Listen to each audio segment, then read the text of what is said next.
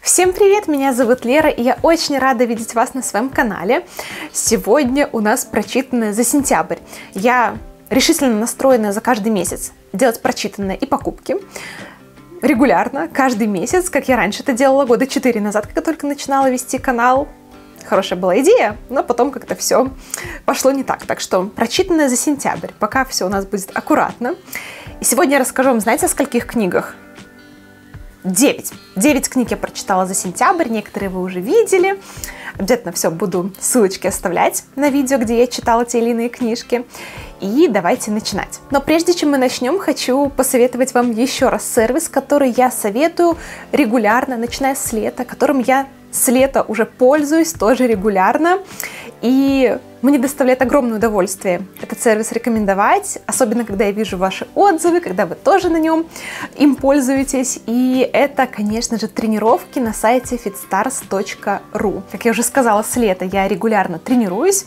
Самый большой срок, когда я так регулярно выполняю физические упражнения постоянно, несколько раз в неделю. И действительно, мне кажется, сейчас все тренируются на fitstars.ru, потому что сервис просто великолепный. Тренировки на этом сервисе занимают от 7 до 30 минут в день. Больше времени вам не понадобится. И также вам не нужно будет никакого дополнительного оборудования. На fitstars.ru есть более 1300 тренировок по 88 программам. Это зумба, пилатес, йога, растяжка, похудение, все, что вашей душе угодно, найдете обязательно что-нибудь для себя, и все тренировки подходят для новичков. То есть вам не нужно никакой подготовки. Вот, я была совершенно новичком, и я на 100% влилась в занятия, поэтому могу с уверенностью сказать, что у каждого из вас точно получится заниматься регулярно. Также на платформе есть целый раздел с рецептами, с расчетом калорий и с целым курсом об основах рационального питания. А еще у них недавно появились курсы на тему здоровья, тела и ухода за собой, которые теперь также входят в подписку. А еще у них появились тренировки для детей от трех лет в игровой форме. Это просто просто шикарный способ приобщить ребенка к физкультуре. Мы еще пока не пробовали с малышом, но я думаю, в скором времени будем тоже пробовать тренироваться, начинать. И я с самого начала оформила безлимитную подписку, чего я вам советую, тем более сейчас по промокоду, по моему промокоду Лера Жук, действует 70% скидка на все тарифы, и безлимит вам выйдет всего за 4950 рублей. Поэтому обязательно проходите по ссылочке в описании, используйте промокод, оформляйте подписку и будем с вами тренироваться вместе. И давайте я буду просто брать книжки, которые я читала, уже в самом конце расскажу о тех, о которых я уже рассказывала, а пока просто в любом порядке. И с самого начала у нас что здесь? Это платье королевы. Конечно, после смерти Елизаветы э, мне кажется, ажиотаж поднялся такой на тему королевской семьи, на тему истории Англии. И я вспомнила, что вот буквально незадолго до этого я покупала книгу «Платье королевы», подумала, что вот самое время, мне так ее захотелось прочитать. Эта книга рассказывает о главной героине, у которой умирает бабушка, и после бабушки ей достается шкатулка от нее, на которой написано имя нашей героини, и внутри вышивки. И она понимает, что бабушка их ей оставила, чтобы она, что она хотела, чтобы она их увидела, чтобы, наверное, узнала их историю. И вышивка на этих кусочках, она наша героиня понимает, что очень напоминает вышивку на свадебном платье Елизаветы, когда она выходила замуж за Филиппа. И параллельно у нас развивается вторая сюжетная линия. Действие происходит в 40-х годах, после Второй мировой, в Англии, когда мир восстанавливался, когда э, королева вот, организовывала свадьбу своей дочери Елизаветы, еще пока принцессы. И рассказывается о вышивальщицах, которые работали над платьем королевы. Да, о самой королеве, ну, в то время еще как бы принцессы, Здесь немного, но все равно вся книга, она пропитана этой атмосферой королевской семьи, а, пропитана атмосферой этого платья, вот ажиотажа вокруг этой свадьбы, ожидания свадьбы, ожидания того, что все изменится к лучшему. Вот эти две линии, они, конечно, переплетаются, она понимает, кем была ее бабушка, хотя интересно, что бабушка своей прошлой жизни совершенно ничего не рассказывала, то есть наша героиня понятия не имела, что бабушка была вышивальщицей, это не спойлер, это, естественно, все в самом начале понятно, э, рассказывается об этом, просто мы начинаем кусочки пазла складывать, находить и понимать, что же произошло. Эта книга, она совершенно спокойная. Здесь даже если происходят какие-то трагичные события, то они мы все равно понимаем, к чему это привело. Мы не ожидаем, что будет что-то непредсказуемое, потому что ну вот, мы уже видим настоящее. Но, тем не менее, некоторые линии мы не знаем, куда пошли, не знаем, к чему привели, просто вот следим за жизнями наших героинь и других героев, вокруг которых тоже повествование крутится. Мы здесь встречаем Елизавету на страницах этой книги. И так интересно это подано, вроде бы совсем чуть-чуть, но в то же время, прям, знаете, сердечко замирает как-то от причастности к чему-то такому прекрасному. Меня тема королевской семьи, как вы уже знаете, как бы интересует только вот в отношении Дианы, принцессы Дианы, а сама королевская семья не так сильно интересовала, но все равно мне было очень интересно читать. И э, вот что мне хочется сказать. Эта книга, она не американские эмоциональные горки. Здесь никаких эмоциональных, эмоциональных качелей нет. Здесь э, ничего сверхъестественного. Но в то же время, когда я так говорю, мне как-то стыдно перед книгой, потому что она заслуживает вашего внимания. Да, она вроде бы спокойная, да, она не оставляет послевкусия какого-то долговременного, долгосрочного, она не оставляет тебя размышлять над этой книгой, но тем не менее, когда ты читаешь, тебе очень нравится. Я читала и испытывала потрясающие эмоции. Мне было очень интересно. Мне было переживательно за некоторых героев. Мне нравились любовные линии, мне нравилась атмосфера. Поэтому книга, она, да, она очень похожа на Сару Джио чем-то, но в то же время немножко особенная, потому что эта атмосфера особенная, и она заслуживает вашего внимания, сто процентов. Это не та книга, от которой ты скажешь, ну, как-то ничего не оставляет после себя, и на один раз. Да, она возможна на один раз, но в положительном смысле.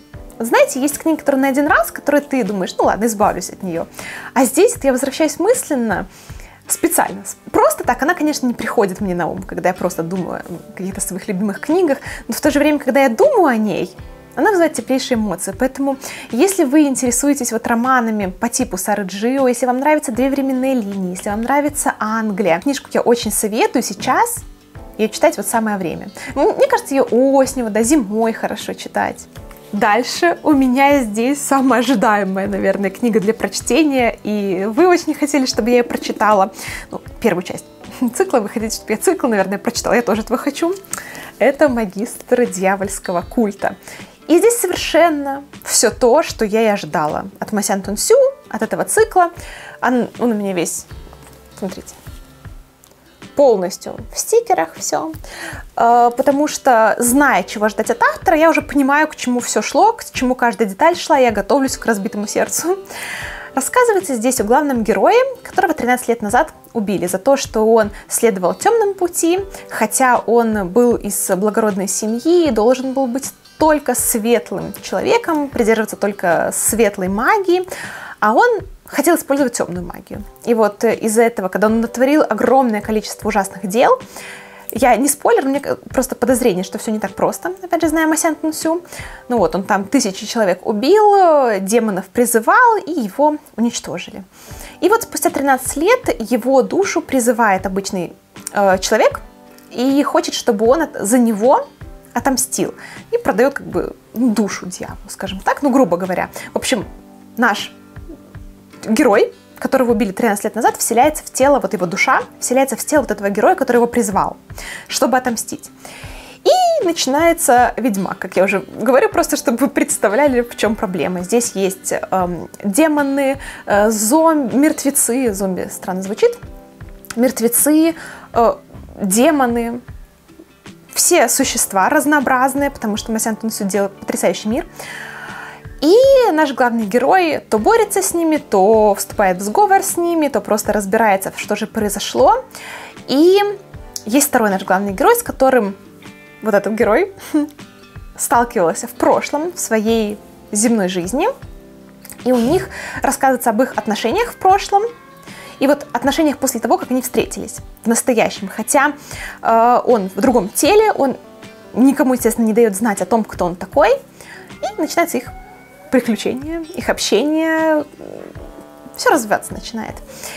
И зная Масян Тунсю, опять же, я уже была готова ко многому. Первая часть, она у нее всегда, как благословение небожителей, так и здесь она пока вступительная. Здесь ничего не происходит душераздирающего, здесь нету развития каких-то отношений, здесь даже когда, когда наводят истории, которые параллельно развиваются, мы их не совсем понимаем связь между нашими героями, между этими историями. Это вроде просто такая завязка. Но уже здесь есть детальки, которые наши герои еще якобы не осознают, но мы-то понимаем, что они значат. Это, так, здесь нету кроликов, кстати.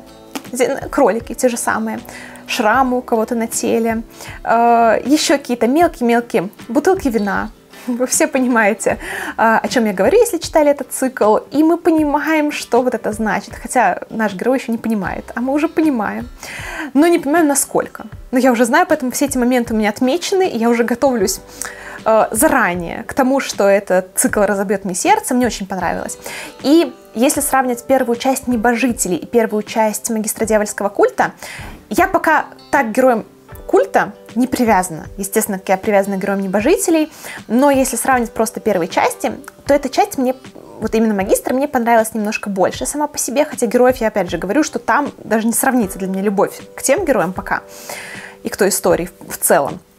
Здесь все более мрачно, э, здесь более как-то э, сосредоточено на узком, на ограниченном количестве сюжетных линий, если там мы как бы и один герой, и другой герой вводится, и третья сюжетная линия, четвертая, пятая, здесь одна такая большая сюжетная линия, которая, вот я начала уже читать вторую часть, которая и там продолжается, и те герои мы понимаем, что тоже будут связаны с нашими героями, и здесь более такой узкий мир, не мир, а вот именно история, о которой нам рассказывается, и она какая-то более мрачная. И эта атмосфера мне нравится больше.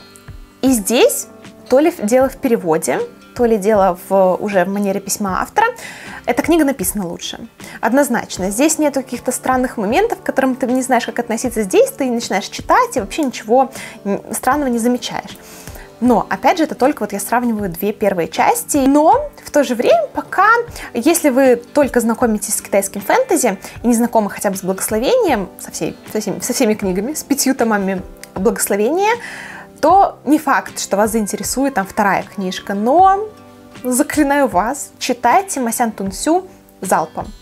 Не откладывайте на потом, тем более, если вы не знакомы с манерой написания, потому что вот, эти стикеры не просто так, потому что я уже готовлюсь к тому, что будет, а будет что-то потрясающее. Поэтому книга мне понравилась однозначно, и даже сама по себе, вот, читается очень классно. И, естественно, я продолжаю цикл, и по первой части невозможно что-то сказать. Мне вот единственное, что приходит в голову какие-то сравнения с благословением, а само по себе я понимаю, что она разбита на части условно, нужно читать историю полностью, совершенно все четыре тома, чтобы полностью ее прочувствовать и понять, но я заранее прочувствовала и поняла и полюбила.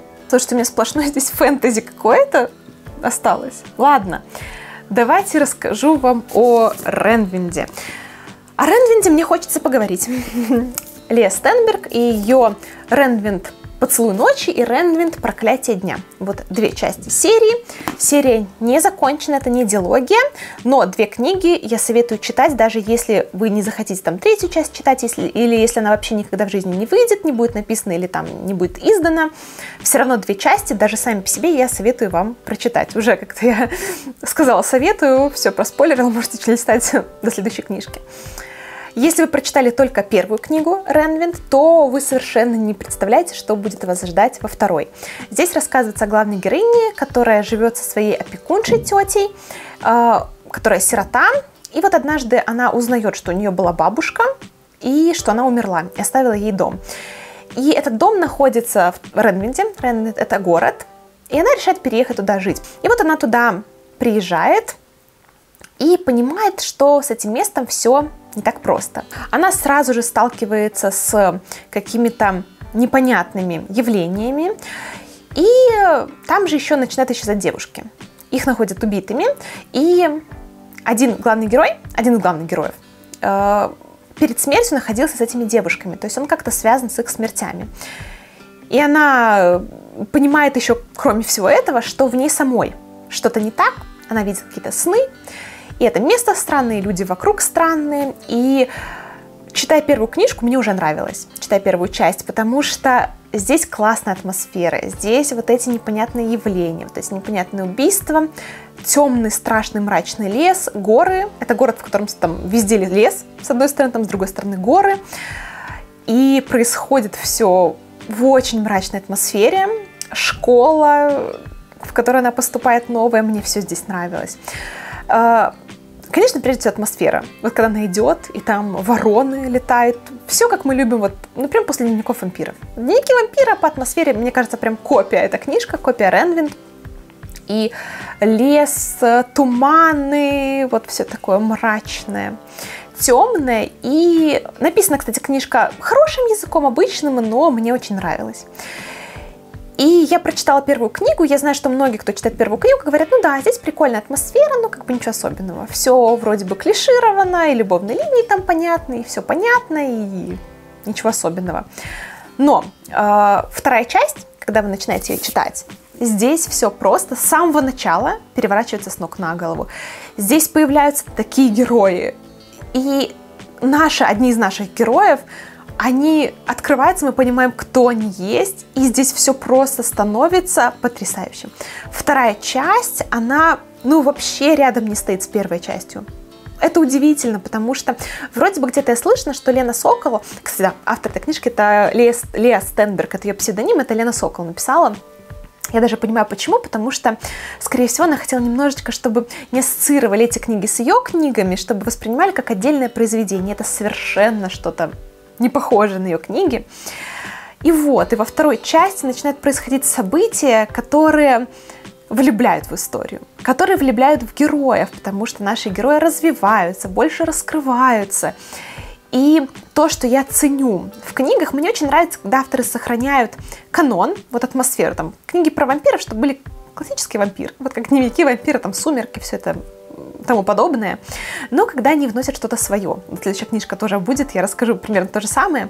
И здесь то же самое. Здесь как бы так не проспорили ничего, здесь существа, которые здесь существуют, и вот магические образы, они совершенно новые. Вот, такого, опять же, я в книгах еще не встречала, и за это низкий поклон автору, за то, что она создала уникальный мир. И то, как раскрывается наша главная героиня, это мы поймем только во второй части скажем так, максимально полно, это было супер неожиданно, это было супер интересно, захватывающе. Оторваться от книг, конечно, невозможно, но читать я вам советую как просто одно произведение, как одну книгу, потому что, ну, разбивать не совсем нужно было. И, по-моему, не, не, не должна была быть разбита эта книга, должна была быть одним целым, и было бы, конечно, гораздо более правильно. Но, вот как решили с точки зрения маркетинга, я влюблена. И я буду с нетерпением ждать третьей книги. А, насчет того, стоит ли читать эту книгу, пока нет третьей, да, определенно стоит, потому что на большинство главных вопросов нам ответы даются. Но в самом конце, когда вот все ответы даны, мы понимаем, что вот так, вот так, вот так это произошло. Некоторые линии, конечно, не завершаются, но раскрываются. И дается вот в последнем предложении завязка на продолжение. Вот. Но новые вопросы, некоторые не раскрыты были, некоторые новые вводные нам даются, опять же, новые герои, новые существа вводятся. А, вот. Постараюсь очень без спойлеров. Мне очень понравилось. Я жду третью часть. Мне кажется, вообще невозможно забыть, что здесь происходило. И вторая книга разительно отличается. Еще раз вам повторю, на всякий случай, если вы не поверили, то они просто не сравнятся. Действительно, вторая часть заслуживает вашего внимания на 200%. Поэтому, кстати, книжка сама по себе очень красивая, внутри прекрасные иллюстрации. Э, в первой книге иллюстрации наших героев э, основных, а здесь уже э, либо карты нарисованные, либо события, которые я вам тоже не могу показать, потому что они спойлерят немножко происходящее. Но события такие важные, знаковые здесь проиллюстрированы. Мне очень понравилось. Вот. Иллюстрации понравились, и книги понравились. В общем, советую книга фэнтези, про которую вот я тоже говорила, что новое вносит автор. Это Трейси Вульф, ее «Желание». «Желание». Про жажду хочу про первую часть рассказать. Сколько я на канале уже рассказывала про «Желание»? Не знаю, пять раз, возможно, но буду повторяться. Э, это третья часть э, цикла, которая называется «Сумеречная жажда». Первая часть «Жажда», вторая часть «Искушение», третья часть «Желание». Наша главная героиня – сирота, после смерти родителей на свой последний учебный год, э, на последний или на два последних, по-моему, на последний год, отправляется к своему дяде. Дядя, он директор школы на Аляске, в горах, в снегах. И она понимает, что там не просто ученики, а, естественно, там есть вампиры, естественно, там есть ведьмы, другие существа. И она понимает, что она не совсем, наверное, простая. И есть э, мрачный герой наш главный. Давайте так, если вы слышали об этом, слышите об этом десятый раз, просто пропускайте. Но если слышите первый, то послушайте, потому что я знаю, что многие начинают читать «Жажду», даже дочитывают и бросают, потому что все очень плохо. Первая часть очень банальная, она очень плохо написана, меня больше всего смущали там диалоги, вот, и ничего там интересного, в принципе, не происходит. Но чем-то меня эта серия зацепила, и я решила продолжить. Думаю, ну, вторая часть, и все. И начиная со второй части происходят события, которые влюбляют в серию на миллион процентов, и уже оторваться невозможно. И вот в желании раскрываются линии, те, которые были, завязочки, на которые были во второй части, и происходит что-то совершенно, опять же, новое, оригинальное и не похожее на другие серии подобного жанра.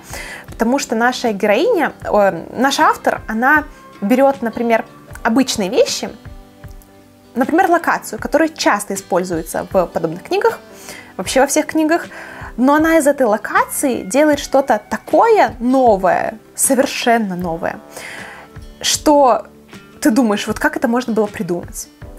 и делает новое, не просто новое что-то, а гораздо лучшее. Вот. Тоже, чтобы не проспойлить, не хочу, я бы назвала это место, которое меня очень впечатлило, но если вы читали, то вы понимаете. И здесь новые герои, новые существа тоже вводятся. И то, какая наша главная героиня, я так давно уже об этом всем знаю, что мне кажется, это было в первой части, но в первой части этого не было. По-моему.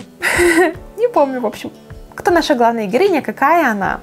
Это тоже, мне кажется, хоть где-то это использовалось, хоть где-то в подобных книгах, мне кажется, нет. Наша героиня делает много косяков, она часто раздражает, но почему-то каждый раз, когда мне думала, вот все, она ужасная, она ужасно себя ведет, она меня бесит страшно, я умудрялась находить ей оправдание. Ну, потому что вот так вот у нее было. Ну, вот так вот было. Поэтому все равно, мне кажется, автор задумывала, что героиня будет вот такой, будет с такими чертами характера. Так что в целом только первая книга, она слабая. Начиная со второй, это великолепный цикл. Он, конечно, огромный. Сколько здесь страниц? 750 страничек вот в этой книге. И, наверное, «Желание» самая толстая часть. Да, наверное, самая толстая, но меньше, все равно, не намного меньше первые две части. Читаются быстро, главы малюсенькие, оторваться невозможно. И вот говоря любимой части, наверное, третья часть, вот это моя любимая из цикла. Вторая, она просто сделала в некотором отношении переворот, который меня поразил, после которого я поняла, что все, вообще в любимые эту серию занесу. Вот. Но по количеству крутых моментов, наверное, вот эта третья часть, она самая классная, потому что концентрация э, крутых сюжетных поворотов, она вот здесь большая, больше, конечно, намного, чем во второй части. Очень классный цикл, и интерес у меня не то, что не угасает, у меня он с каждой книгой все больше, больше, больше.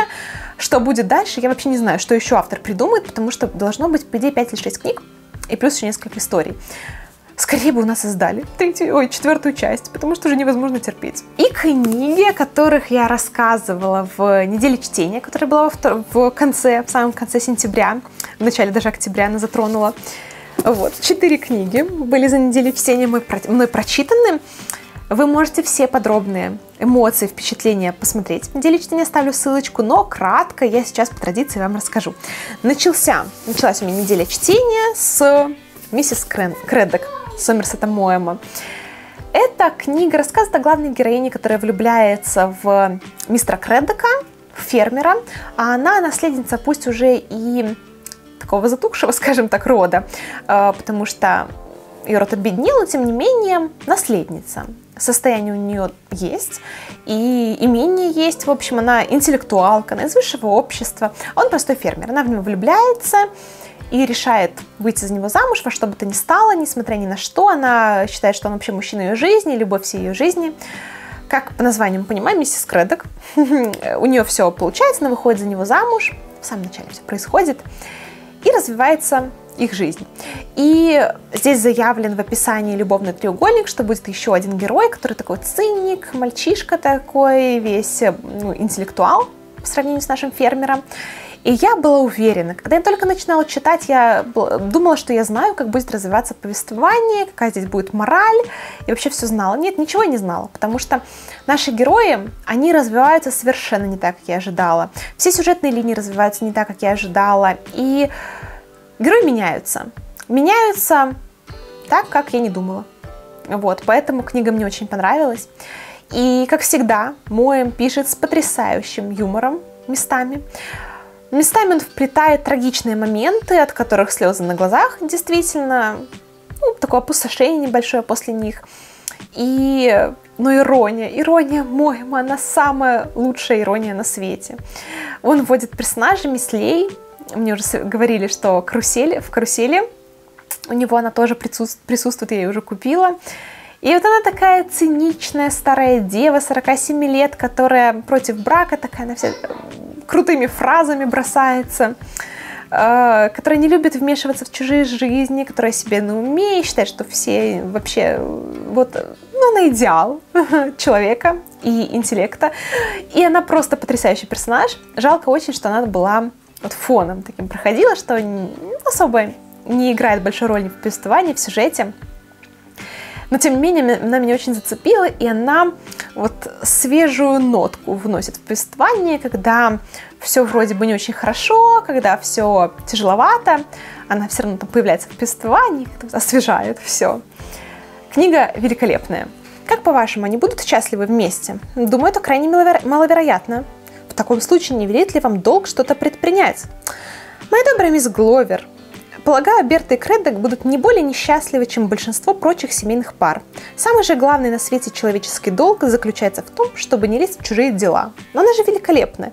И вот все в этом роде, ну, и описание, все больше всего мне нравилось.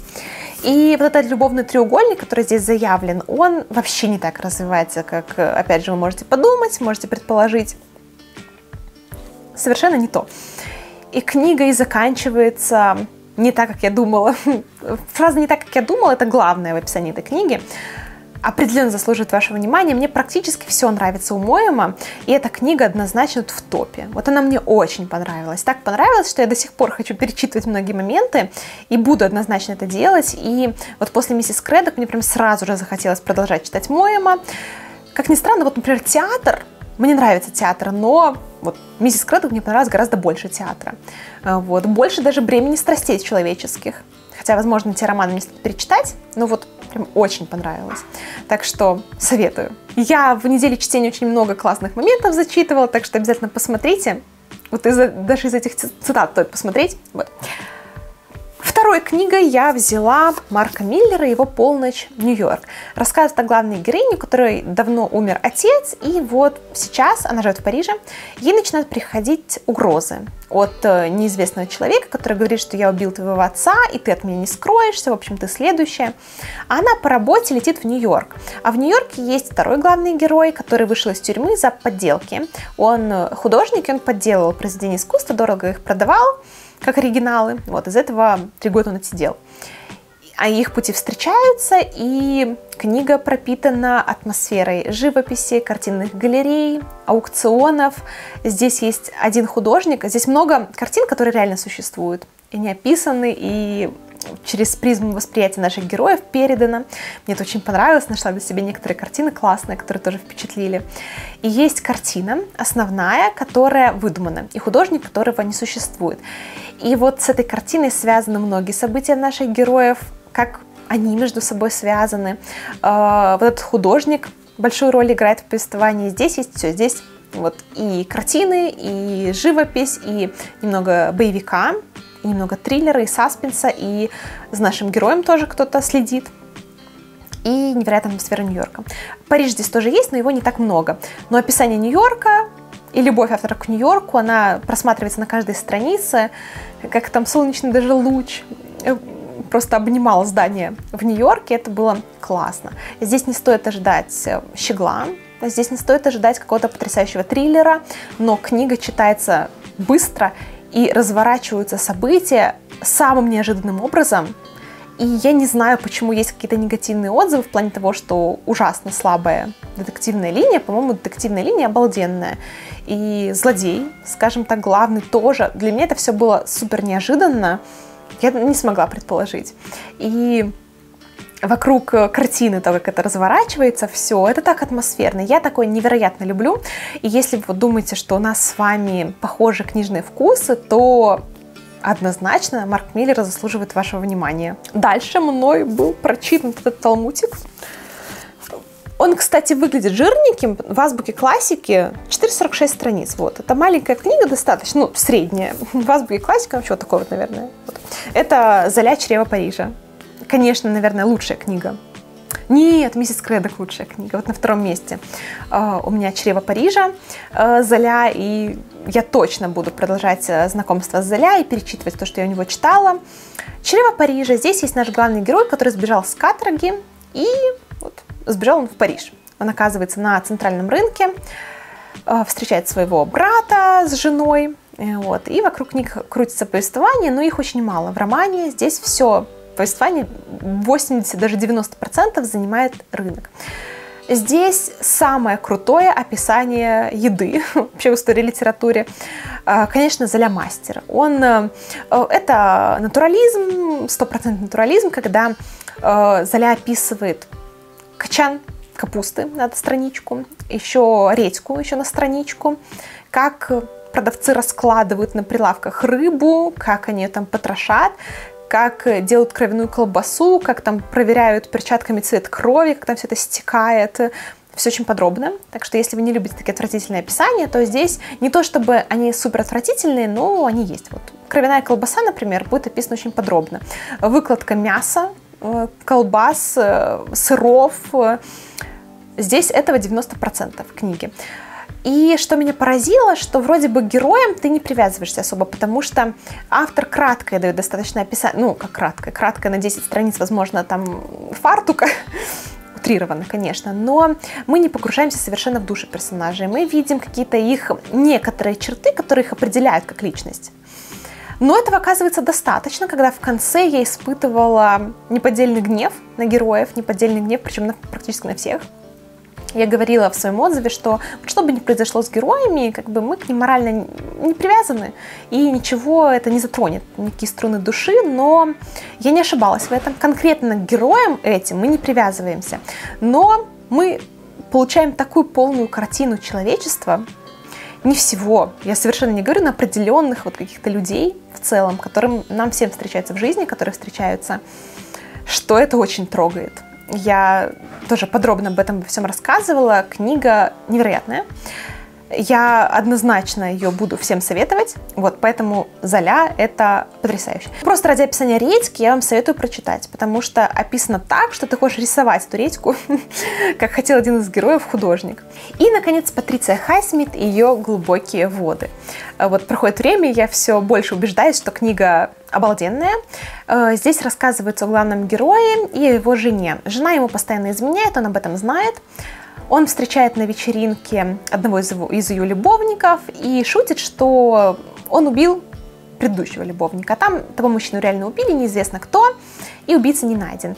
И вот, естественно, этот слух э, получает огласку, и хотя все понимают, что он шутит, вроде бы, вот мы этого пока не знаем, вот это все тянет за собой другой такой эффект бабочки, и мы получаем, как события разворачиваются. И, конечно, Патриция Хайсмит, я читала у нее «Цена соли», она невероятный психолог. Э, она раз, очень классно погружается в человеческие души, и вот здесь это наглядно заметно, потому что вроде бы это такой триллер, вроде бы это детектив, но это совершенно не, не главное в романе, потому что то, как мы видим развитие персонажей, то, как они нам открываются постоянно с каких-то новых сторон, и это вызывает просто мне хочется поклоняться перед талантом Патриции Хайсмит. Я тоже рассказывала в неделе чтения, например, как вот нам дается описание некоторых деталей одного из героев. Деталей характера, черт характера и вообще какой-то его быта его. И мы вот определенным образом эти детали воспринимаем, как нам к ним относиться, причем абсолютно однозначно. Потом проходят некоторые события, которые немножечко меняют наше мировоззрение.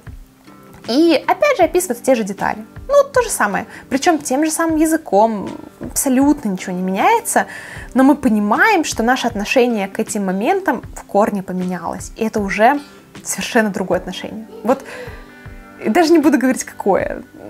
Потрясающе. Она, Патриция Хайсмит апеллирует деталями мелкими и отношением нашим. И немножечко здесь она э, играет с читателем, потому что мы понимаем вроде бы, что мы неправильно относимся, но в то же время не можем иначе относиться. Потом, может быть, это меняется. В общем, потрясающе построено повествование, и герои интересные, очень неоднозначные.